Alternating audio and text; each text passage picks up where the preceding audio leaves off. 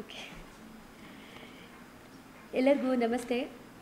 ನಾನು ಈಗ ವಿಜ್ಞಾನ ಶಿಕ್ಷಕಿ ಮತ್ತು ಜೊತೆಗೆ ಗಣಿತ ಶಿಕ್ಷಕಿಯಾಗಿ ವರ್ಕ್ ಮಾಡ್ತೀನಿ J M P S Puttenahalli ಶಾಲೆಯಲ್ಲಿ.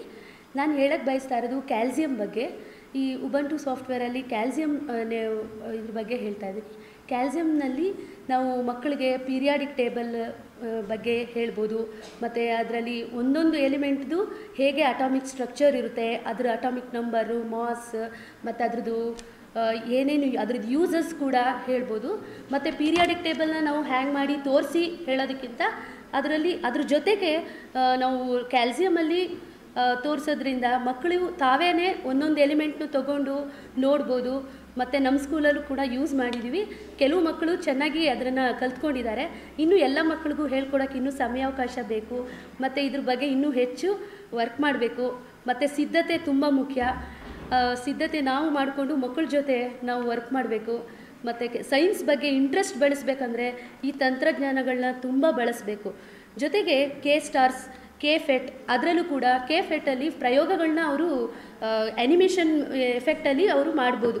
ಮತ್ತು ಅದರಲ್ಲಿ ಪ್ರೆಷರ್ ಹೇಗೆ?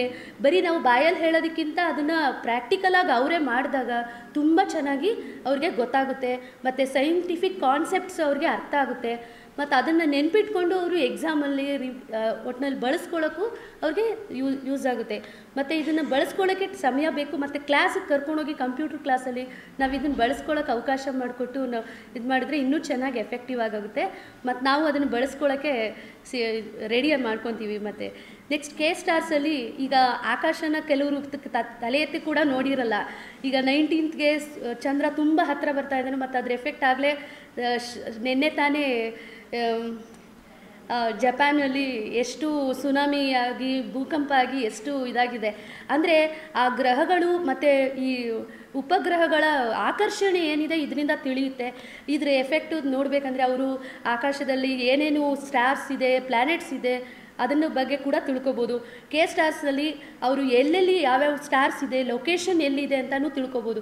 ಮತ್ತು ಬೇರೆ ಗ್ರಹದಲ್ಲಿ ನಿಂತ್ಕೊಂಡು ನಮ್ಮ ಭೂಮಿ ಬಗ್ಗೆ ನೋಡ್ಬೋದು. ಇದನ್ನೆಲ್ಲ ತಿಳಿಯೋದ್ರಿಂದ ಅವ್ರಿಗೆ ಸೈನ್ಸಲ್ಲಿ ತುಂಬ ಇಂಟ್ರೆಸ್ಟ್ ಮೂಡುತ್ತೆ.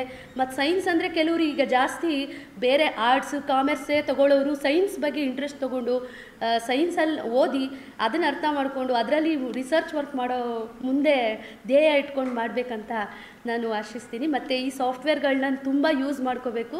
ಒಳ್ಳೆ ಎಲ್ಲ ಚೆನ್ನಾಗಿರೋ ಟೂಲ್ಸ್ ಇವೆಲ್ಲ ಅದನ್ನು ಯೂಸ್ ಮಾಡ್ಕೊತೀವಿ. ಮತ್ತು ಸಕ್ಸಸ್ಫುಲ್ಲಾಗಿ ಮಾ ಸ್ಕೂಲ್ಗಳಲ್ಲಿ ಉಪಯೋಗಿಸ್ಕೊಂಡು ಮುಂದೇನು ಮುಂದುವರಿಬೇಕು. ಮತ್ತು ಟ್ರೈನಿಂಗು ನಿಲ್ಲಿಸದೆ ಕೊಡಿ ಅಂತಲೂ ಕೇಳ್ಕೊತಾ ಇದ್ದೀನಿ. Okay thank you